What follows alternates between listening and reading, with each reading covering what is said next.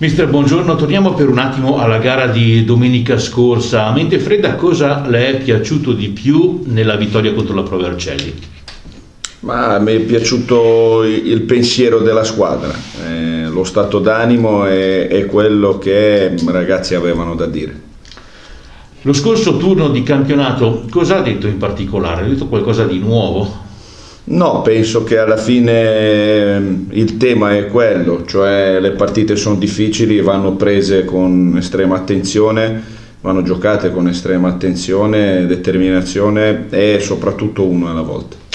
Nel processo di crescita collettiva della squadra anche i gol di Malomo e Fischnaller assumono un valore significativo, dimostrano una sinergia funzionale tra i reparti e la forza del collettivo.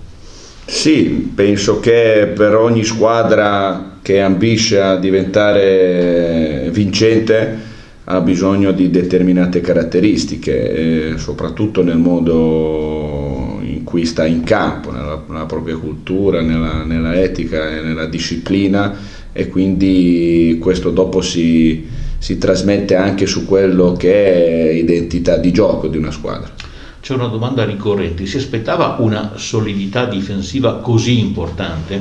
Sì, sinceramente sì, ma perché abbiamo delle qualità sia individuali che collettive per eh, potersi esprimere a, a questi livelli. Eh, non parlo solo dei difensori, ma in senso collettivo, ci sono dei valori e questo è fondamentale per eh, avere un certo tipo di, di solidità, ma penso che sia una questione anche di, di un insieme di cose. Noi siamo anche um, tra le prime um, squadre nella, nella, statistica per i passaggi, per i tiri fatti, quindi è un insieme di cose eh, che rendono una squadra solida anche dal punto di vista difensivo e correlata anche a quello che fai anche quando hai la palla, secondo me. La Giana Erminio che avversario è? Sicuramente sarà una partita diversa rispetto a quella della Coppa Italia su tutti i punti di vista. Sì, quello assolutamente sì. È una squadra solida che prende pochi gol, è una squadra esperta, eh, fisica, ma allo stesso tempo ha anche dei elementi, elementi giovani, eh, frizzanti, veloci, quindi sicuramente ci aspetta una, una partita diversa nel punteggio sicuramente rispetto a quello che è stata in Coppa Italia, anche perché anche la stessa partita in Coppa mm, ha, dato dei temi dove, dove ci hanno messo in difficoltà, quindi sarà sicuramente una partita complicata.